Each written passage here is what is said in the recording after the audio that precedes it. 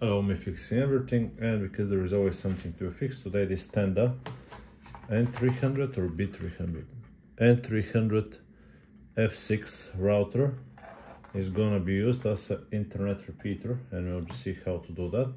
First thing you need to know the password and to log in into it yeah? So already connect i'm already connected to it although there is no internet. Um, and you need to know the password of the network that you want to repeat. Now we need to log in into the actual actual router itself which uh, you got an IP address. You need to open the browser 192.168.0.1 you can see it on the bottom. Right here is written yeah so just enter it. Then go to internet settings. Currently my one was as a router. You need to go to universal repeater. So internet setting universal repeater. Now it's searching for the wi-fi's uh, the networks that are around us. This is the correct one. It will ask us for a password. I'll just put the password in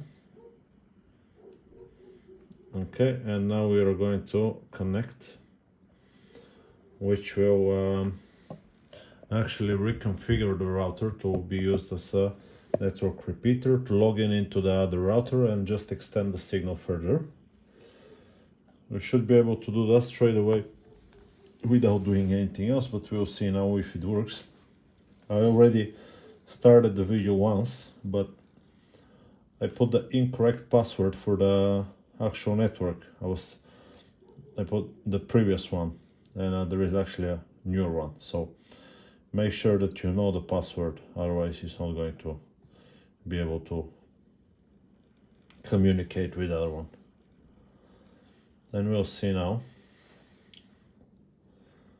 While this one is uh, reconfiguring, the computer actually catched the Wi-Fi from other one, so we'll just connect to this one now, to this one.